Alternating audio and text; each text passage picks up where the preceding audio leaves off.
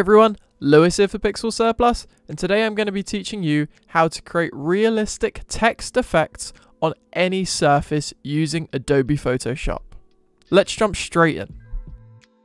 For this demonstration, I'm going to be using the picture of a brick wall that I found on Unsplash, as well as the font Don Graffiti. Don Graffiti is a free to use font created by Don Marciano. This font was created to combine legibility with old school tag lettering. This bold font makes no apologies for its behaviour, but will take full responsibility for its actions. This font, as well as thousands of others, can be found at Pixel Surplus. Links to Pixel Surplus can be found in the description below. So I'm going to begin by opening up the picture of the brick wall that I've just downloaded. If you found your own textured surface that you'd like to use, feel free to follow along as well. Everything we teach here can be applied to your own image. Now that my image is open in Photoshop, I'm going to head to the type tool or hit T on my keyboard and type out text effect. Now that I have my text, I'm going to head to the properties panel and I'm going to change my font to Don Graffiti and make sure my font is in white.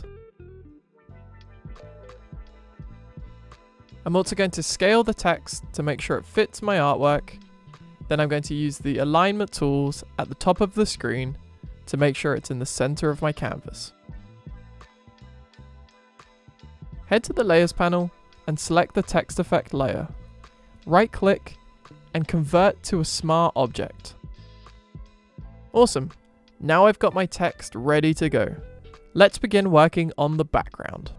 I'm going to head to my layers panel, unlock my background layer, select it, right click, and duplicate layer. I'm going to select the drop down menu in the document setting and select new. Then I'm going to name it displacement layer. Then hit OK. This will now open a new Photoshop tab with your duplicated image. We're going to first begin by holding Control, Shift, and U on your keyboard to desaturate our image. Then we're going to head to Filter, Blur, Gaussian Blur, and we're going to change the radius to 2 pixels. Great, now we've created our displacement layer. Let's go ahead and save it. Hit Shift Control S to save as, and save it in a file where you can find it again quickly. You can hit X on the tab to close this layer now. Now that I'm back with my original image and my text, I'm going to go ahead and I'm going to make my text invisible.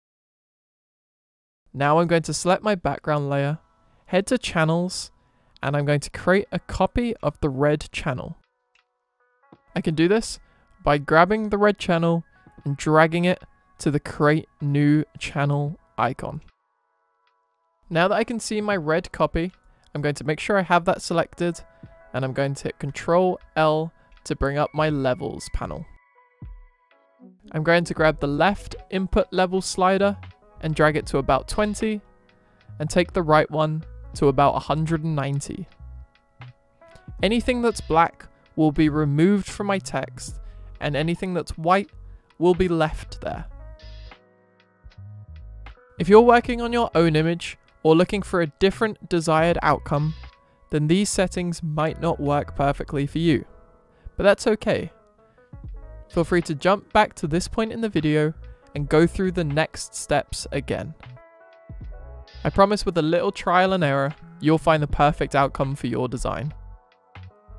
Once you've got your levels set correctly, hit OK with your red copy still selected, hit the load channel as selection.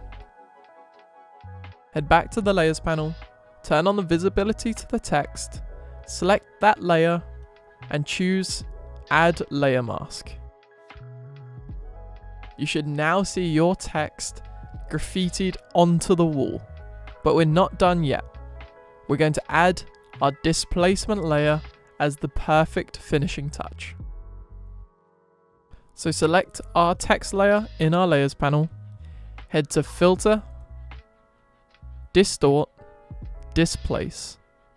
And we're going to use a horizontal and vertical scale of 5 and 5. You can leave all the other settings the same and hit OK.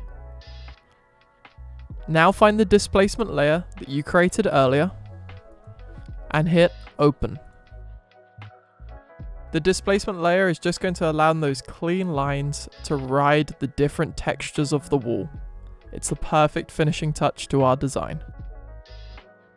And there you have it, how to create a realistic text effect on any surface using Adobe Photoshop. If you like what you've seen in this tutorial, please like, subscribe, and comment. We here at Pixel Surplus want to know what you think, so get in those comments and let us know.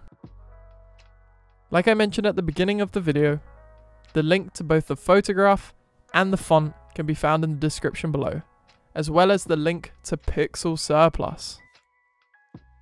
Pixel Surplus is home to the best fonts, textures, mockups, templates, and so much more, as well as the best font bundles on the internet. Premium fonts at 90% discount. I say it every time, but it still blows my mind. Head to Pixel Surplus and pick them up before they're gone. Thanks again for watching, and have a great day everyone.